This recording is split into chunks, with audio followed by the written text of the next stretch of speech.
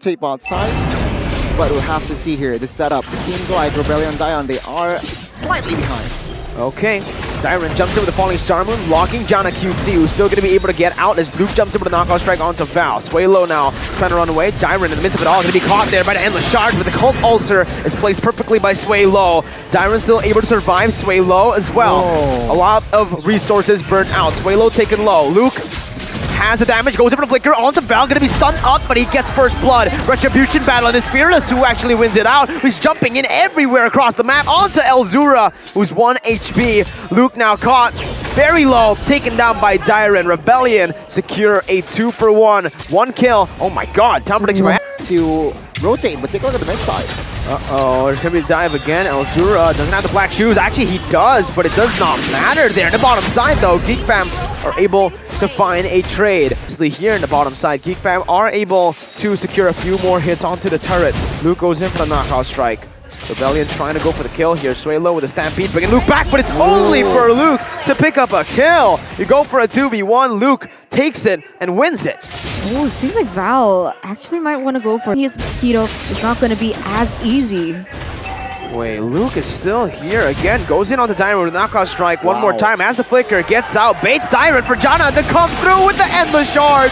Beautiful plays by Luke. Amazing. As they are going to be able to clear rather quickly. Oh, down below though, Luke again heading caught in a 3v1 situation. Jana's there in the bush though. Luke won't be able to survive. He actually gets a jab again. He's able to run away for a bit for Jana to come through. Has the endless charge, pops it in. Dyron still able to get away with that. It's just us. So power, there is some power, but to win team fights, they need more time. Take a the top side. Okay. Here you go see. though, Heinz jumps in with the Blazing Duet. He's gonna get caught by the Endless Shards. My goodness, Fearless with Heaven of the Blaze now. Jumps in, Jana looking for the kill.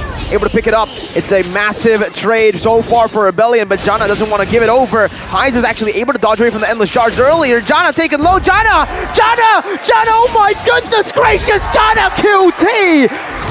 Fight, the time is now. Geek Fam though. Oh, good time for the blade, but Beloy reads look at that. out it, timing perfectly to get that hook in.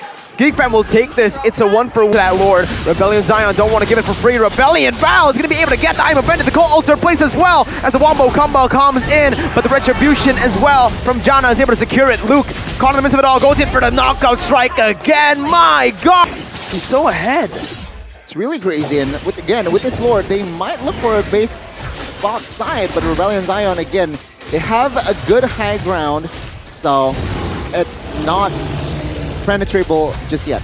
Yes, but they got almost every turret other than that inhibitor turret. But here we go, Baloyskie is going to get caught. again, but he's not gonna get tar aggro just yet. Highs, oh, that blazing duet. He used it, but it was cancelled out because of the damage coming in to cancel that Cult Altar. Maybe looking for the close here, going on to the base turret Val, looking for the engage, but Beloy again with the bloody hunt, and the hook is able to lock Val down. Geek Stop here. Nope, definitely not. They are going to look for the end. 11 minutes into the game. It does not matter. High jumps in, still able to clear the waves, but Luke and Jana deal too much damage. 20 seconds onto Dyron, 4 seconds onto Val. Fearless can't defend. It is Geek Fam.